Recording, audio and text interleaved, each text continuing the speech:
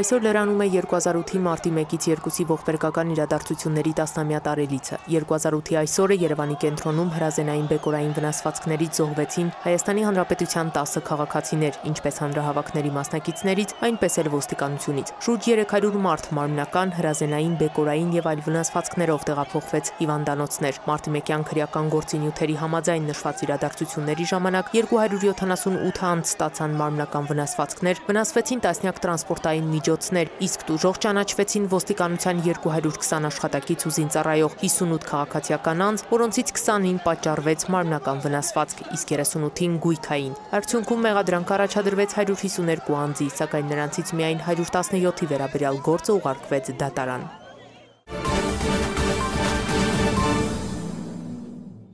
Ձայնը տրվում է Հայաստանի Հանրապետության նախագահի տեխնացու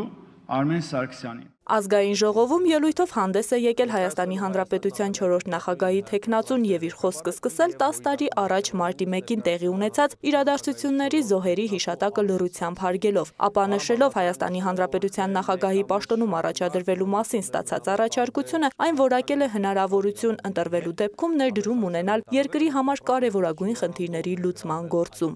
Սա ինձ համար ոչ միայն մեծ պատիվ է, այլև մեծագույն պատասխանատվություն, հատկապես հաշվի առնելով այն հանգամանքը, որ այժմ մեր երկիրը թևակողում է զարգացման մի նոր փուլ, անցում կատարելով խորհրդարանական կառավարման համակարգ։ Օգտվելով ազգային ժողովի ամբիոնից հանդես գալու հնարավորությունից նախագահի տեխնացուն չմոռացավ անուն առ անուն շնորհակալություն հայտնել բոլոր կուսակցություններին, պաշտոնյաներին, կազմակերպություններին ու նախաձեռնություններին, հասարակ քաղաքացիներին։ Արմեն Սարգսյանն անդրադարձ կատարեց անկախ Հայաստանի անցած 26 տարիների դժվարություններին ու հաղթանակներին։ 30 տարիների ընթացքում հաղթանակների հաջողությունների ընթացքում կառուցեցինք հայրենիք, որ իհարկե 26 տարի առաջ շատ ավելի փոքր էր եւ իր տնտեսական չափով եւ հզորությամբ, սակայն գուցե ավելի արդարացի։ Հանրությունը մեր շատ ավելի քիչ էր բևեռացված աղքատի եւ հարուստի իմաստով։ Հայաստանում տիրող շատ երևույթներ, որոնք խանգարում են երկրի զարգացմանը թե սոցիալ-տնտեսական, թե քաղաքական շրջանակներում բխում են անտարբերությունից, անհանդուրժողականությունից, սոցիալական աշտարության ոլորտը Արմեն Սարգսյանը որակեց հասարակության ամենազգայուն խնդիրներից մեկը։ Հասարակության տարբեր շերտերի միջև արկա սոցիալական բևեռացման բարձր մակարդակը գործազրկությունը, անտարբերությունը, բյուրոկրատական քաշքշուկը, մարդկանց դարձնում են թերահավատ եւ օտարում հասարակական գործընթացների։ Քաջալերելով սոցիալական աշտարության վերացման պետության նախաձեռնությունները, անհատների եւ հասարակական կազմակերպությունների վերաբերմունքը, բարեգործական ծրագրերը Արմեն Սարգսյանը հայտարարեց, այնուամենայնիվ հարցի համակարգային եւ ամբողջական լուծումը բոլորիս կարևոր խնդիրն է։ Երազում եմ, որ Հայաստանի Հանրապետությունը պետք է դառնա դինամիկ զարգացող ինտելեկտուալ երկիր, եւ որպես միջազգային իրավունքի ինքնուրույն սուբյեկտ ավելի ամրապնդի իր դիրքերը որպես անկախ եւ ժողովրդավար պետություն Սարգսյանը խոստացավ աշխատել իր ողջ անկեղծությամբ եւ ազնվությամբ լինել ոչ միայն Հայաստանի Հանրապետության նախագահի պարտականություններ կատարողը, նախ եւ առաջ լինել քաղաքացի այս երկրում։ Կփորձեմ լինել ձեր բոլորի պատկերացրած նախագահը Արմեն Սարգսյանն այսպես ավարտեց խորհրդարանում իր խոսքը։ Վաղը մարտի 2-ին ազգային ժողովում առավոտյան 10:30-ից 11:30-ը տեղի կունենա 4-րդ նախագահի ընտրությունը։ Համաձայն ազգային ժողովի կանոնակարգի նախագահ է ընտրվում այն տեխնացուն, որը գախնի քվեարկությամբ ներկայությամբ ստանում է падգամավորների թվի ձայների առնվազն 3 քառորդը։ Մարիամ Խալաթյան, Օրագից։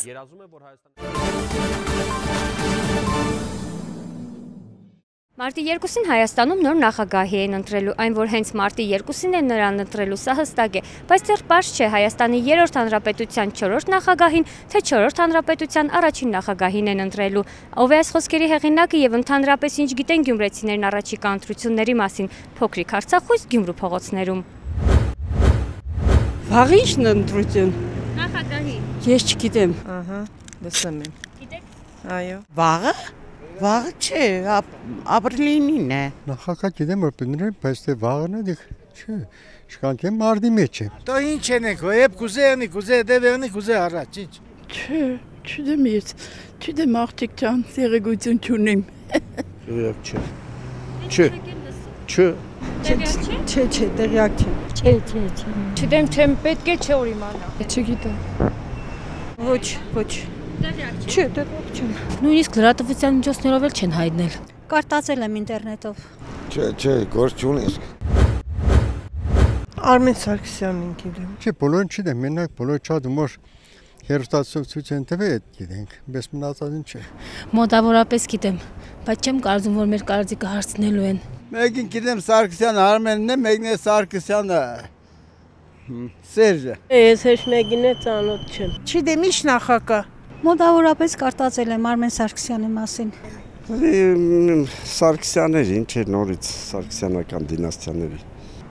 Տեխնազում է, տեխնազում է։ Սերժի սածը։ Սերժ Սարսյանի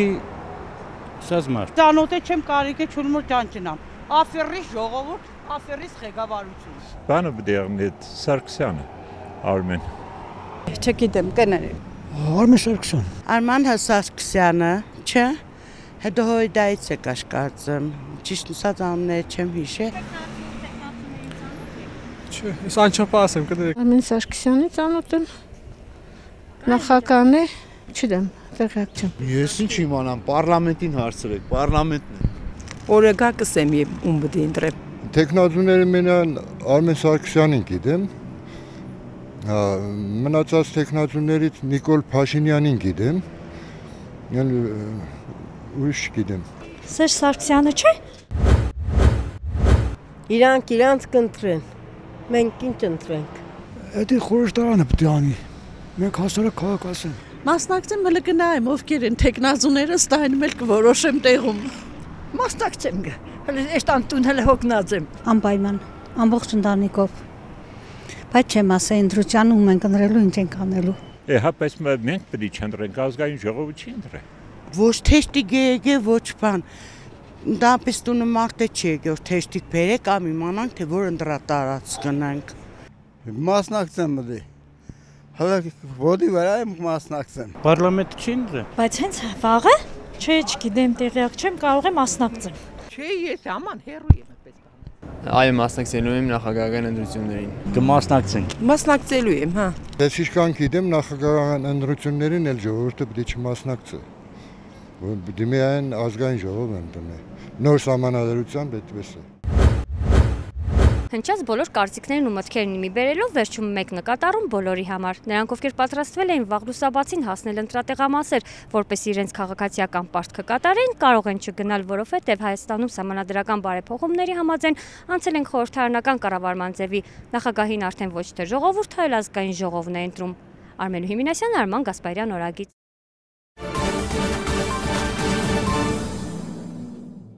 Կարճ ժամանակ կունենան քաղաքների մուտքի եւ ելքի բարեկարգ ճանապարհներ առիթն այս տարի Հայաստանում կայանալիք 3 խոշոր իրադարձություններն են։ Հայաստանի Հանրապետության ու Մայիսյան հերոսամարտերի 100-ամյակ, Երևանի հիմնադրման 2800-ամյակի միջոցառումներ ու ֆրանկոֆոնիայի գագաթնաժողով։ Կառավարության այսօրվա նիստում վարչապետ Կարեն Կարապետյանն անդրադարձել է 2017 թվականի դեկտեմբերի 14-ին տրված հանձնարարականին ու ֆինանսների նախարարին քաղաքաշինության պետական կոմիտեի նախագահին նորից հանձնարարել է։ Նաև առաջարկել Երևանի քաղաքապետին մեկ ամսյա ժամկետում համատեղ մշակել Զվարթնոց օթանավակայանից դեպի Երևան տանող ճանապարհի հատվածի բարեկարգման, ճարտարապետական մոտեցումների, խորհրդանիշների տեղադրման միասնական լուծումները, ինչպես նաև նախագծային փաստաթղթերը, այդ թվում ակնկալվող ֆինանսական ծախսերն ու համապատասխան փաթեթը ներկայացնել կառավարության աշխատակազմ։ Հանձնարարական է ստացել նաև Գյումրու քաղաքապետը։ Առաջարկում եմ նաև Գյումրի քաղաքապետին առավելագույնը երկու ամսյա ժամկետում Կումայրի վերածնունդ ներդրումային ֆոնդի հետ համատեղ ապահովել Շիրակ օթանավակայանից դեպի Գյումրի, Գյումրի հրապարակի հարակից տարածքի եւ դեպի Երևան տանող ճանապարհների բարեկարգման, ինչպես նաեւ կանաչապատման աշխատանքների ավարտ։ Չնայած որոշում ընդունվեց, որ մարտի 9-ի փոխարեն աշխատանքային կդառնա մարտի 17-ը, վարչապետը մտահոգություն հայտնեց, թե 4 օր անընդմեջ ոչ աշխատանքային օրերը կարող են դժվարություններ առաջացնել հատկապես տնտեսվարողների գործունեությանը։ Ուստի մարտի 8-ից մինչև մարտի 11-ի ավարտը բոլոր մաքսատները սննդի անվտանգության պետական ծառայության համապատասխան ստորաբաժանումներն աշխատանքները կկազմակերպեն հերթապահությամբ։ Սա կկարգավորի Կարգավորի տնտեսվարողների գործունեությունը մարտի 1-ից ուժի մեջ մտած դեղերի կարգավորման մասին օրենքն էլ կկարգավորի դեղերի շրջանառությունը Հայաստանում։ Գործադիրի այսօրվա նիստից հետո լրագրողների հետ զրույցում Հայաստանի առողջապահության նախարար Լևոն Ալթունյանը նշել է, որ 4500 անուն դեղերից 2500-ը բաց կթողնեն միայն դեղատոմսով, իսկ 2000-ը կմնա ազատ վաճառքի մեջ։ Նախարարը վստահ է այս օրենքը Հայաստանին կմոտեցնի քաղաքակիրթ երկրների շարքին։ Ես կարծում եմ հիմնական դժգոհությունները պայմանավորված են անտեղեկ լինելով։ Յուրաքանչյուր տարի գարնան ոռոգման ջրամատակարարման նախապատրաստական աշխատանքների շրջանակներում ջրային տնտեսության պետական կոմիտեն իրականացնում է ջրանցքների մաքրման ու ընթացիկ նորոգման աշխատանքներ։ Վարչապետը նշել է, որ իրականացված ուսումնասիրությունների համաձայն նման աշխատանքների զգալի մասն ուղղվում է ջրանցքներ թափված կենցաղային եւ այլ բնույթի աղբի մաքրմանը, որը ձևավորվում է ոռոգման, ինչպես նաեւ ոչ ոռոգման ժամանակահատվածում հարակից բնակավայրերից։ Ստեղծվածը խոչընդոտում է ջրամատակարարման աշխատանքների կատարման ու առաջացնում լրացուցիչ ծախսեր։ Պարոն Լոքյան, maximal custo.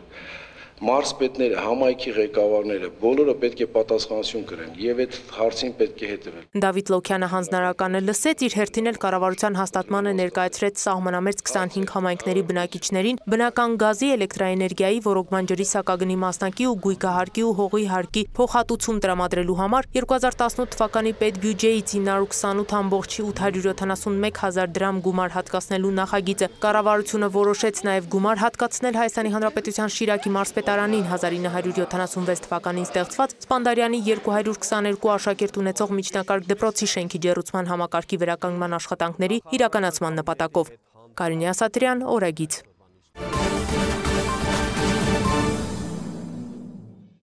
Մարտի 2-ին պաշտոնական այցով Հայաստան կժամանի Վրաստանի վարչապետ Գեորգի Կվիրիկաշվիլիի գլխավորած պատվիրակությունը։ Այցի շրջանակներում նախատեսված են նրա հանդիպումները Հայաստանի Հանրապետության նախագահի եւ վարչապետի հետ։ Կառավարությունում կկայանա Կարապետյանի եւ Կվիրիկաշվիլիի առանձնազրույցը, որին կհաջորդի պատվիրակությունների հանդիպումը ընդլայնված կազմով։ Բանակցությունների ավարտին երկու երկրների վարչապետները հանդես կգան հանդիպման արդյունքներն ամփոփող հայտարարություններով։ Վրաստանի վարչապետը կայցելի նաեւ Ծիտեռնակաբերդի հուշահամալիր հարգանքի տուր կմատուցի հայոց ցեղասպանության զոհերի հիշատակին ժամանակին։ Գեորգի Կվիրիկաշվիլին կհյուրընկալվի նաև Թումո ստեղծարար տեխնոլոգիաների կենտրոնում։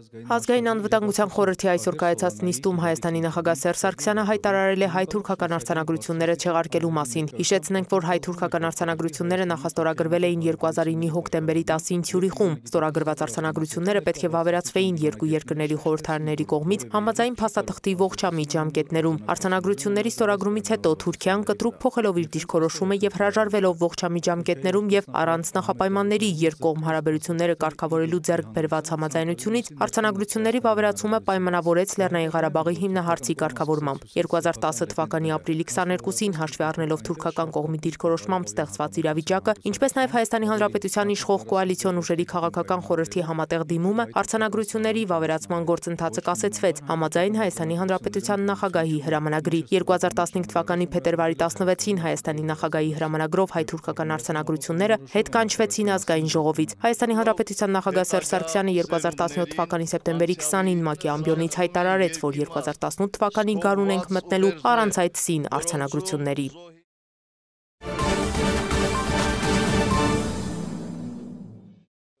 Եվրոպական խորհրդարանում տեղի է ունեցել Ղարաբաղյան շարժման 30-ամյա Հոբելյանին նվիրված միջոցառումների շարք, որին մասնակցել են Եվրոպական խորհրդարանի անդամներ, դիվանագետներ, Եվրոպական հասարակական կազմակերպությունների եւ հայ համայնքային կառույցների ներկայացուցիչներ, միջազգային փորձագետներ, լրագրողներ։ Միջոցառումների շրջանակներում Եվրոպական խորհրդարանի անդամները հանդես են եկել Սումգայիթի հայկական ջարդերը դատապարտող հայտարարությամբ եւ բազմաթիվ ներկաների հետ միասին մեկ րոպե լրությամբ հարգել Սումգայիթյան անմեղ զոհերի հիշատակը։ Ծավալվել են քննարկումներ Լեռնային Լեռնային Ղարաբաղի հարցի կարգավորման, Արցախի ինքնորոշման իրավական եւ քաղաքական հիմքերի, Եվրամիության դերի ու նշանակության մասին։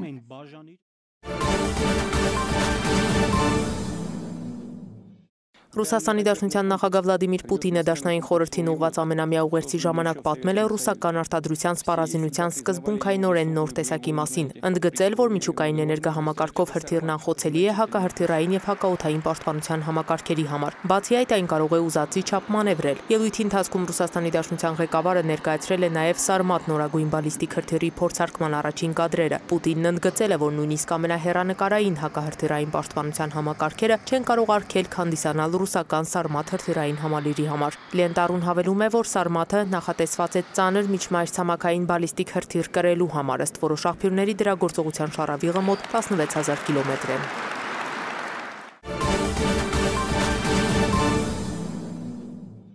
Ռուսաստանի Դաշնության նախագահի տեխնացու Քսենիա Սոբչակը Ռոսիա 1 հերոստալիքով բանավեճի ժամանակ ջուր է լցրել նախագահի մեկ այլ տեխնացուի Վլադիմիր Ժիրինովսկու վրա։ Այս մասին տեղեկացնում է ՌԻԱ Նովոստին։ Այս միջադեպը տեղի է ունեցել երրորդ տեխնացուի Սերգեյ Բաբուրինի ելույթի ժամանակ։ Ռուսաստանի լիբերալ դեմոկրատական կուսակցության հիմնադիր եւ նախագահ Վլադիմիր Ժիրինովսկին միջամտել է Բաբուրինի ելույթի ժամանակ։ Սոբչակը նրան հանդարտվելու կոչ է արել, ի պատասխան Ժիրինովսկին նրան հիմար է անվանել։ Փողոցային կանանց պետք չէ այստեղ բերել, այս ամենը կեղտ է։ Թող ձայնը կտրի, ասել է նա։ Սոբչակն արձագանքել է, թե Դոմ 2-ի մասնակիցներն իրենց ավելի պարկեշտ են պահում, քան Ժիրինովսկին։ Վերջինս շարունակել է վիրավորել Սոբչակին, որից հետո պարզապես ջրվել է։ Լուցկի քաղաքային խորհրդում ուկրաինացի падգամավորները զանգվածային ծեսկրտուկ են սարքել հողավարձակալության տալու մասին որոշումն ընդունելիս։ Հայտնում է ապոստրոֆը։ Խորհրդանականների մի մասը պահանջել է հարցը մշակել եւ նիստը շարունակել, սակայն նրանց մերժել են։ Դրանից հետո падգամավորներից մեկը երաժշտություն է միացրել ու փորձել դահլիճ մտնել։ Այդ ընթացքում նրա կողմնակիցները ծեսկրտուկ են սարքել եւ արգելափակել նախագահությունը։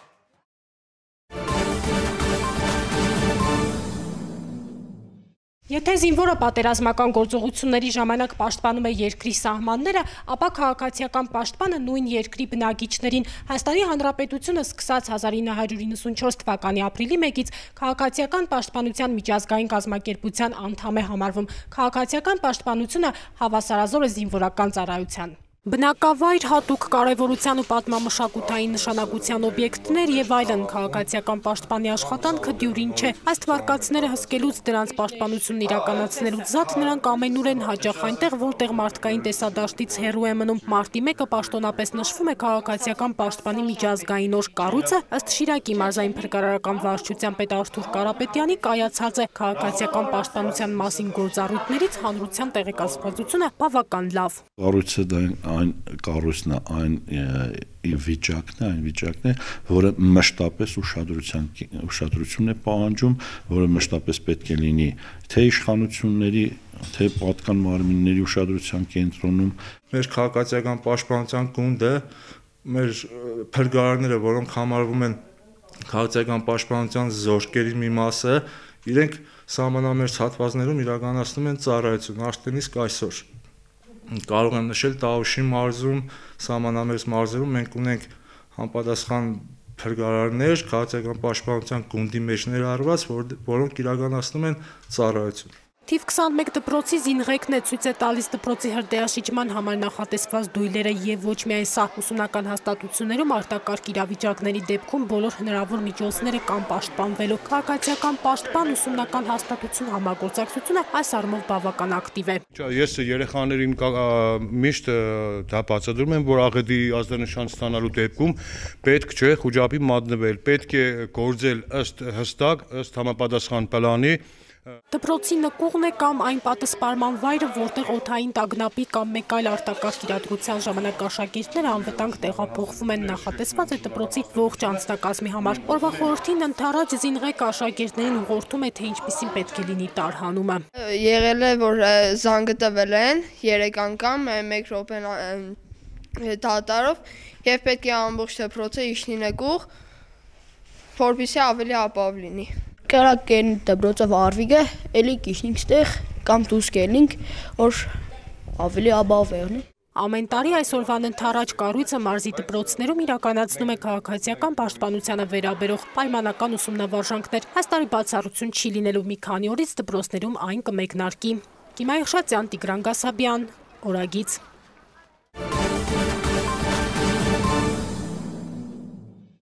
Դառնալ արյան դոնոր նույն է թե մեկ մարդու կյանք փրկել։ Շիրակի մարզի առողջապահական համակարգի ներկայացուցիչներն այսօր այս սկզբունքով էին այցելել Գյումրու Արյան բանկ։ Գարնան առաջին օրը կամավորության սկզբունքով այրուն հանձնելու։ Այսօր կանանամուտ է, կանան զարտոնք է, կյանքի զարտոնք է, վենությունն է արթնանում։ Ուզում ենք մեր տված այրունով մարդկանց հիվանդի հոգին ջերմացնենք։ Գարնան Զարթոնքի հետ այժմնատվության մարդասիրական քայլի դիմելու նախաձեռնությունը Շիրակի մարզպետարանի առողջապահության վարչությանն է։ Գիտակցելով, որ կամավոր հանձնած այրյունը կարիքի դեպքում կարող է կյանքեր փրկել, առաջինը այժմնատվության սրահ մտավ վարչության պետ Մեսրոպ Բզնունին։ Չափումից պարզվեց այրյան ճնշումը բարձր էր։ Խոստովանեց, պատճառը հաստատ հուզմունքը չէ։ Ֆաստանյա, առան չափից հա 30 քիչ կսեք։ Որացեն վախոց չեմ ասել, որտեղ դուք հանձնել Շիրակի մարզում լինելով միակը, որ վիրաբուժական միջամտության եւ վերակենդանացման բաժանմունքներ ունի, Գյումրի բժշկական կենտրոնի հանրույթը մեծ կարևորություն է տալիս արյան պաշարներ ունենալուն, որpիսի ծայրահեղ անհրաժեշտության դեպքում դրան ձեռքբերումը ավելորդ ժամանակ եւ միջոցներ չպահանջի։ Որ մենք կարողանանք ժամանակին մեր աշխատանքները անելիս չկանգնենք փաստի առաջ, չմանկանք տարբեր տեղերից այրան խմբեր, մանավանդ այն խմբերը, որոնք իրականում բարդ են։ Ցավոք սրտի կամավորական սկզբունքով արյունատվությունների քանակը բավականին պակաս է, քիչ է, եւ այս ակցիաները շատ օգտակար են, որ մենք կարողանանք մեր գոնե մինիմալ պահանջարկը մարզի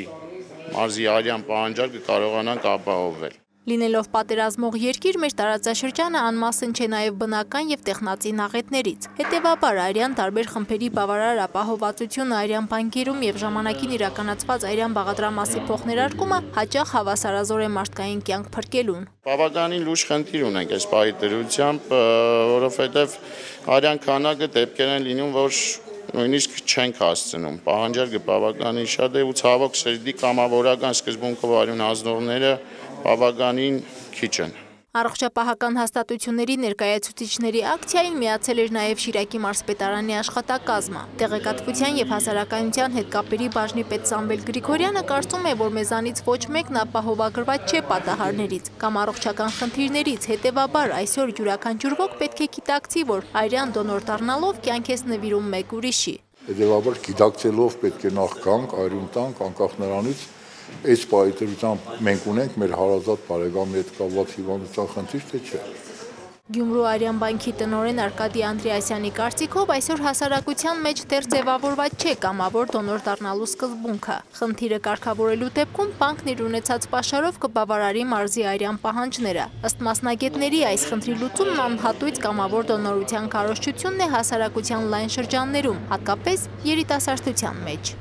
Մարինե Դերբինյան, Կարապետ Արաքելյան, Օրագից։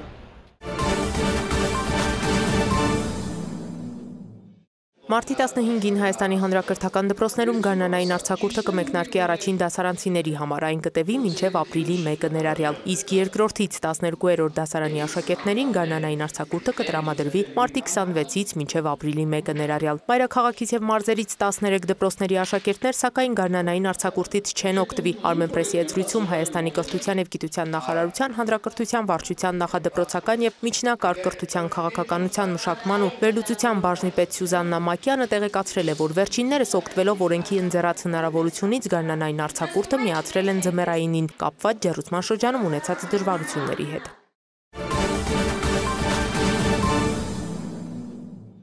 Կարնան ամուտը Գյումրու երիտասարդական պալատում տոնական է եղել։ Երիտասարդ բանաստեղծուի Լիլիթ Անդրեասյանի հեղինակային գործերի ընթերցման պաստարարվել է Գարնան Գալստյան ավետիսն ու Լիլիթի մուտքը ստեղծագործական կյանքի մեծ ասպարեզ։ Ցերեկույթի ընթացքում երիտասարդ բանաստեղծու ստեղծագործություններն ընթերցել են Վաղաշակ Ասատրյանը, Դավիթ Մարդոյանն ու Սոնա Մկրչյանը։ Ասմունքի ցերեկույթի կազմակերպիչ Վաղաշակ Ասատրյանի գնահատմամբ Լիլիթը հայտնություն է հայ գրական կյանքում, ով դեռ շատ ասելիք ունի։ Իդեպ Լիլիթը ծնվել է մեծացել է Լոռու մարզի Գուգար գյուղում ստեղծագործել է շատ վաղ տարիքից։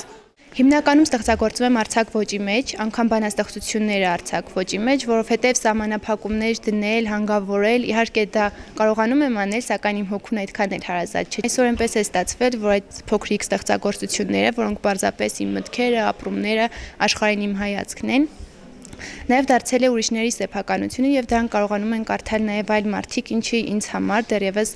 իմ այս փոքրիկ կյանքի մեծագույն ձեռքբերումներից մեկն է թողներ են ինձ իհարկե գրականագետները ժամանակը ընթերցողը կդատի հետո Լիլիթին բայց այնուամենայնիվ ես ուզում եմ համոզված եմ որ այս երեխան մի օր մեր գրական պանթեոնում իր արժանի տեղը կգտնի երբ ծանոթացա Լիլիթի ստեղծագործություններին, մի տեսակ նոր շունչ տեսա, որ մեր այս 21-րդ տարի հենց մեր սերունդը ինչ ձևի ուզենար խոսել։ Մեր սերունդի համար առաջ է գալիս նոր նոր գրող, պոետ, ինչու՞ չէ ժամանակի ընթացքում նաև հանճարեղ ստեղծագործող։